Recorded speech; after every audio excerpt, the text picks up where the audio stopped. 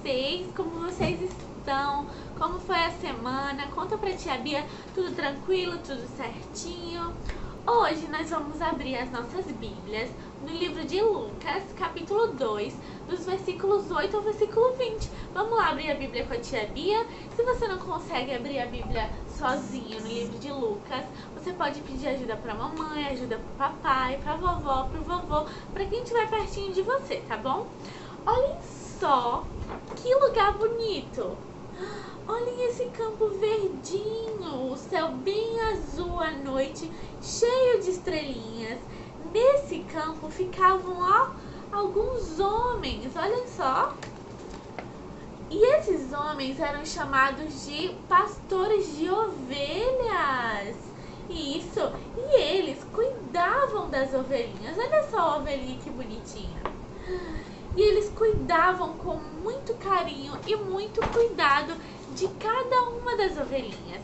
Eles davam água para a ovelhinha, para as ovelhinhas, eles davam alimento para as ovelhinhas e eles também cuidavam das ovelhinhas para nenhum leão pegar elas. E isso eles cuidavam muito bem de cada uma delas. Certo dia, esses pastores estavam lá no campo cuidando das ovelhinhas e eles viram uma luz bem forte aparecer no céu. E eles ficaram muito assustados porque eles não sabiam o que era. E aí apareceu um anjo, olha só, e falou assim para os pastores de ovelhas: Não fiquem com medo. Eu vim aqui anunciar que Jesus nasceu. Isso mesmo, o bebê Jesus nasceu e ele é o Salvador, ele é o Filho de Deus. Vocês devem ir até Belém para poder ver o bebê Jesus.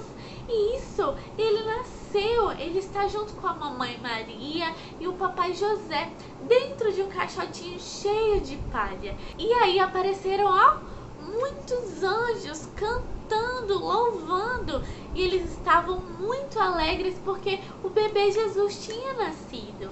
E aí, os pastores de ovelhas falaram: Vamos até Belém, vamos ver o bebê Jesus. E aí eles foram até Belém e foram ver o bebê Jesus.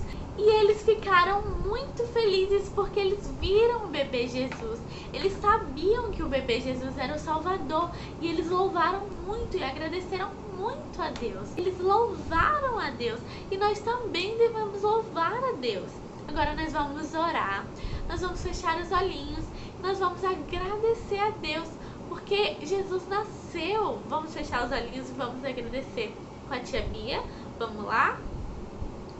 Senhor nosso Deus, nosso Pai, muito obrigada, Deus, por esse dia. Muito obrigada porque Jesus nasceu e porque Ele é o nosso Salvador. É isso que eu te peço e te agradeço. Em nome de Jesus. Amém.